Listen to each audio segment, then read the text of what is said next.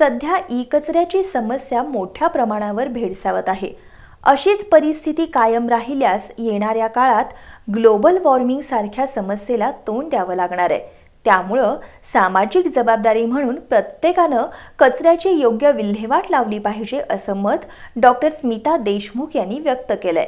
प्रतिमा Satej Patil social वेलफेअरच्या वतीनं आयोजित कार्यक्रमात त्या बोलत होत्या.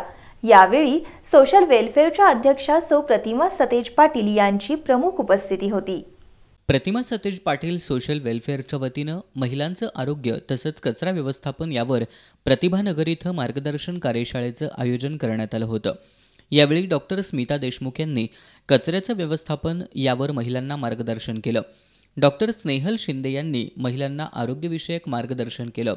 डॉक्टर स्मिता देशमुख यांनी कचऱ्याची योग्य निर्गत केली नाही तर आरोग्याच्या समस्या निर्माण होऊ शकतात. त्यामुळं समाजातील प्रत्येक घटकांनी आपली जबाबदारी म्हणून सार्वजनिक स्वच्छतेला महत्त्व दिलं पाहिजे असं आवाहन केलं. त्यांनी सध्याच्या ई कचऱ्याच्या समस्येवरही प्रकाश टाकला. डॉक्टर स्नेहल शिंदे यांनी महिलांना ताजा आणि सकस आहारच घेण्याचं आवाहन केलं. सोशल वेलफेअरच्या अध्यक्षा प्रतिमा सतेज पाटील यांनी सोशल वेलफेअरच्या आरोग्य शिबिरांचा लाभ घ्यावा असं आवाहन केलं. आज खरोखरच ज्ञाना एवढं श्रेष्ठ काहीच नाहीये. सगळ्यात श्रेष्ठ गोष्ट कुठली आहे?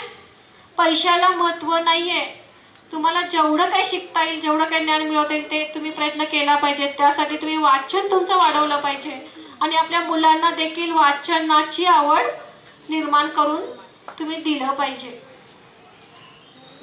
तर या सगळ्या गोष्टीचा लाभ तुम्ही घ्या. यावेळी नगरसेविका छाया पवार सारिका गोजारे विद्या पाटील अरुणा घोडके मनीषा भोसले पूजा चौधरी यांच्यासह महिला उपस्थित होत्या.